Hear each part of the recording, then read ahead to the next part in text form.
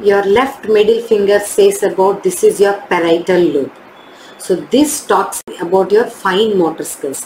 Fine motor skills are fine muscles, all the fingertips, eyebrows, eye coordination, all this comes under this fine motor skills.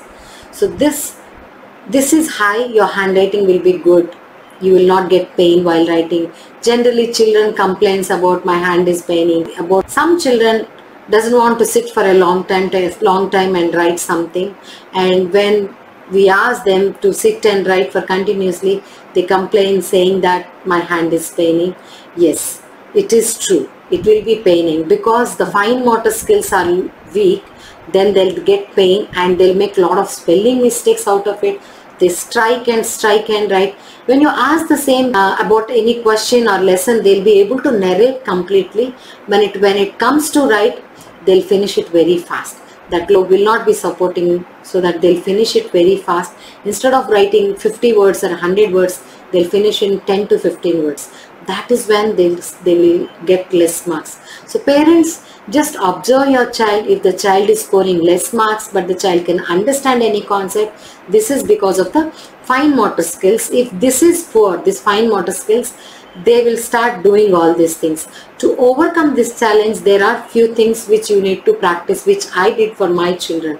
You need to improve the fine motor skills. Like you give them some clay and ask them to make some shapes. So they'll be pressing those things again. This will get generated. This fine motor skills will start energizing themselves. You can ask them to play carom they can play chess or they can draw something or they can paint or again they have to ask them to write one paragraph every day. If you start practicing this every day these fine motor skills will start developing their muscle power.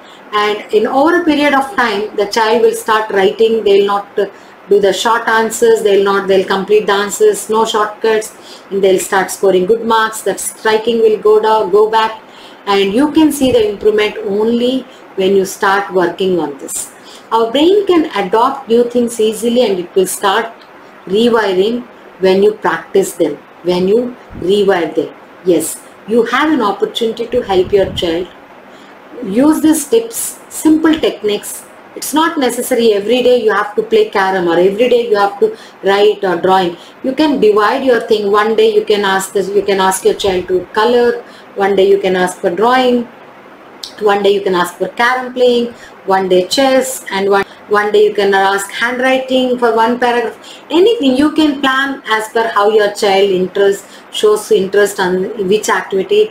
Make that activity practice multiple times and they can overcome with this problem very easily. Thank you. Hope this is very helpful to you. Please like share and subscribe our channel to get more updates about the children, education, learning styles and all. Thank you.